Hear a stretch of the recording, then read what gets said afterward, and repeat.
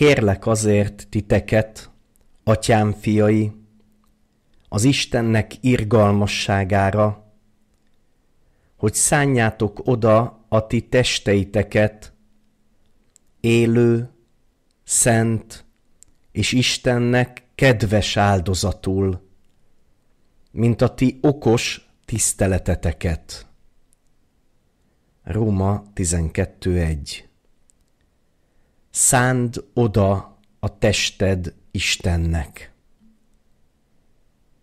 Szánd oda a tested Istennek.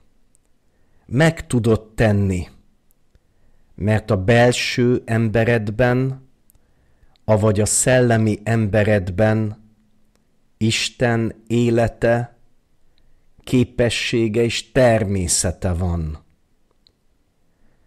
Továbbá betöltekezhetsz Szent Szellemmel, és részesülhetsz Isten erejében is.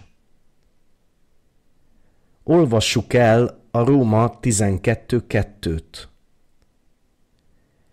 És ne szabjátok magatokat e világhoz, hanem változzatok el a ti elméteknek megújulása által, hogy megvizsgáljátok, mi az Istennek jó, kedves és tökéletes akarata. Amikor 1949-ben igazán megértettem ezeket az ige verseket, megdöbbentem. Amikor egy nap olvastam ezeket az ige verseket, rájöttem, hogy Pál apostol újjászületett, szent szellemmel betöltekezett hívőknek írta ezeket. Felhívta a figyelmünket arra, hogy kezdenünk kell valamit a testünkkel és az elménkkel. A levél címzetjei újjá született, szent szellemmel betöltött keresztények voltak. De ez a testükre és az elméjükre még nem volt hatással. Az újjászületés nem fizikai és nem mentális, hanem szellemi megtapasztalás. Jézus kijelentette – ami testtől született, test az.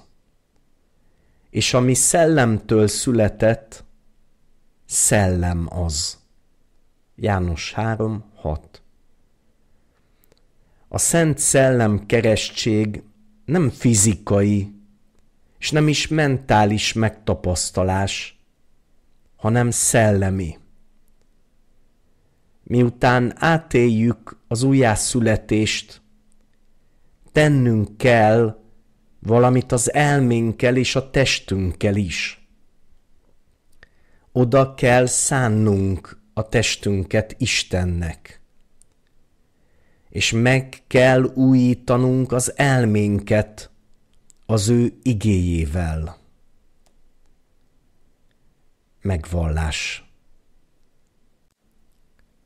oda szentelem a testemet Istennek, élő áldozatként, és megújítom az elmémet Isten igéjével. Kezdek valamit a testemmel és az elmémmel. Alávettem őket a szellememnek.